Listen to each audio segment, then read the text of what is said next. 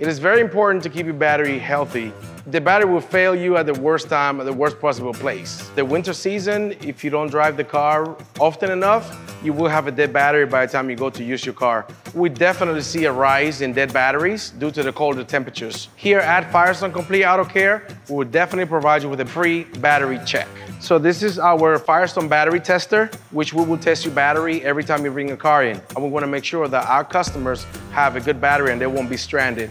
You can tell that your battery is getting ready to die. It's a lot of times you'll go start your car, the slow start, it may not sound the same. It'll make like a static sound and it'll definitely sound like the vehicle doesn't want to start. Or you may turn your lights on, you notice that your lights are dim. Usually it would be like, ring, ring, ring or by the time it does the it's already too late. You will need a jump or a new battery. One of the advantages of coming to a Firestone Complete Auto Care to replace your battery is that we have what's called a battery memory saver. Now, one of the issues that happens if you don't have one of these handy, you can lose the memory to your radio stations. Some vehicles will go as far as losing the idle memory, and some of them will even uh, lock the radio, which can cause some issues and problems if you don't have a battery saver.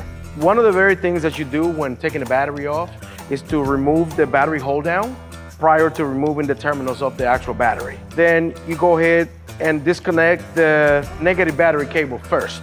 On batteries, the black cable will always be the negative and the red cable will always be the positive.